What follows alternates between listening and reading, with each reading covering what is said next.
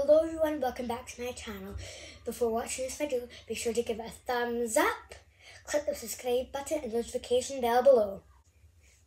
Today I'm going to give a book review of one of my favourite books called The Naughtiest Girl, Collection 1, which is a 3-in-1 book.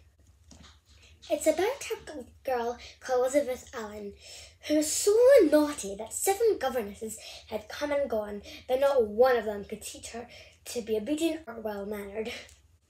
So when her parents tell her she has to go to a very large, nice boarding school called Whyteleafe School, Elizabeth's determined to be the naughtiest pupil there ever was. But soon finds out that being the naughtiest girl isn't as easy as it seems. In book one and two, Elizabeth goes to school and gets into many troubles.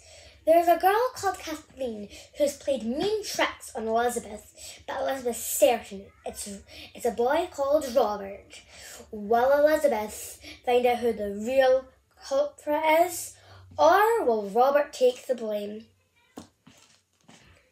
In the third book, Elizabeth has chosen to be a monitor, and she's delighted.